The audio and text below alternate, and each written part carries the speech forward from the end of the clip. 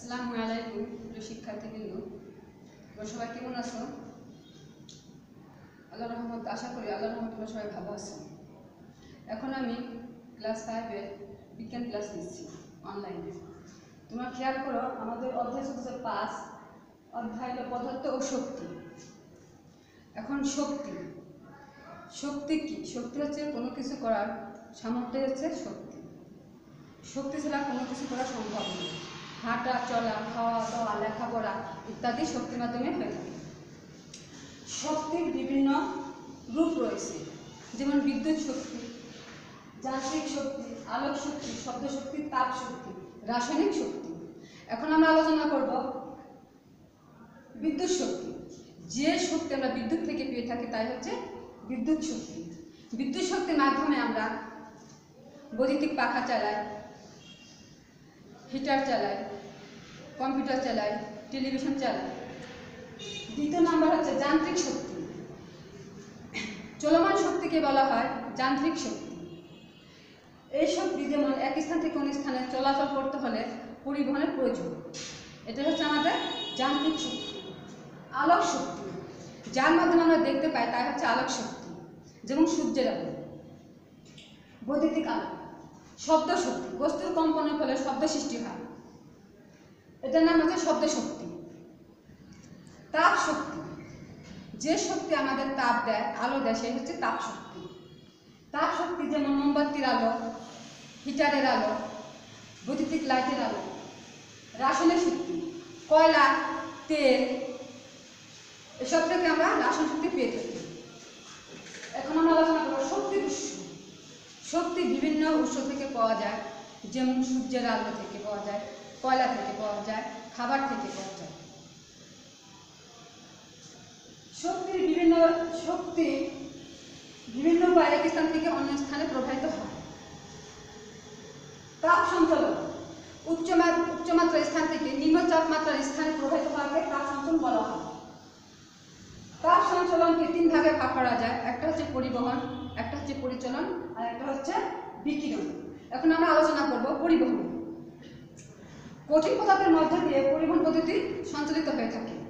যেমন কোনো গরম পাত্রে একটি ধাতব দণ্ড বা চামচ ডুবালে, অগ্রভাগ ডুবালে ডুবালে গুড়ার দিক গরম হয়ে যায়। এটাকে বলা হয় পরিবহন পদ্ধতি।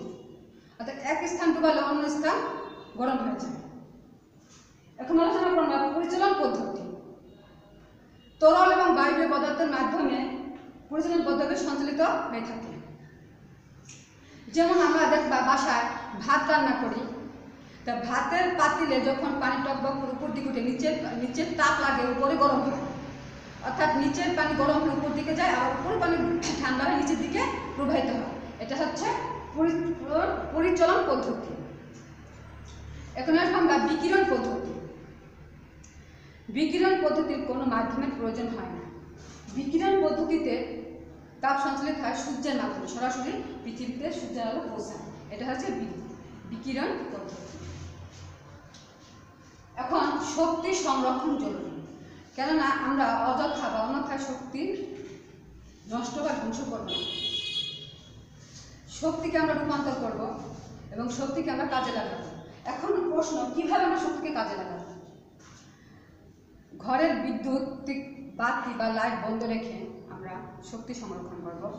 গ্যাসের চুলা বন্ধ রেখে আমরা শক্তি সংরক্ষণ করব।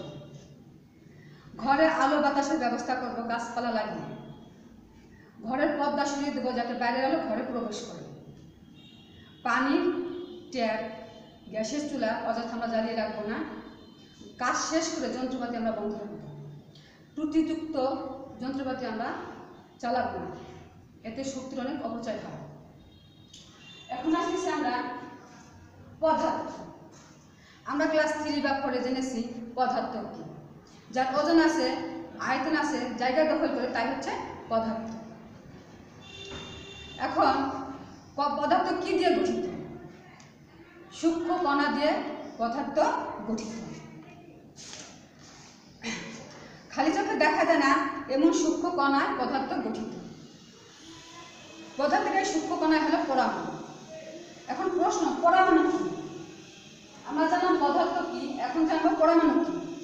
পদার্থের সূক্ষ্ম কণা হচ্ছে পরমাণু এখন প্রশ্ন, অণু কি? দুই বা ততোধিক পরমাণু একত্রিত হয়ে অনুভূতিত হয়। পদার্থের অবস্থা।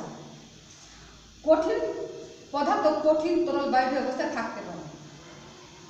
এবং তার নির্ভর করবে কীভাবে সাজানো আছে? পদার্থের অণুগুলো কীভাবে সাজানো আছে? পানি একটি পদার্থ। পানিকে আমরা তিনটি অবস্থায় ভাগ করতে পারি। একটা হচ্ছে কঠিন, একটা হচ্ছে তরল তরল, এবং একটা হচ্ছে বায়ু। এদের অবস্থা। কঠিন পদার্থের অণুগুলো দৃঢ় এবং সাজানোভাবে থাকে। তরল পদার্থের বায়ুগুলো দৃঢ় থাকে, কিন্তু এদের অবস্থান একটু দূরে থাকে। আর বায়বীয় পদার্থের অণুগুলো থাকে ফাঁকা ফাঁকা। এবং একটা আরেকটার সাথে সংযুক্ত থাকে না। এখন আমরা আলোচনা করলাম শক্তি, পদার্থ, তাপ সঞ্চালন, আলোক সঞ্চালন এবং পদার্থ কি? পদার্থ অণু এবং পরমাণু। তোমরা এই অধ্যায় থেকে সংক্ষিপ্ত প্রশ্নগুলো শিখে নিবে এবং বড় প্রশ্নগুলো আমরা আগামী ক্লাসে ছয় অধ্যায় নিয়ে আলোচনা করব। এই পর্যন্ত আমি শেষ করছি। আসসালামু আলাইকুম। সবাই ভালো থাকবেন।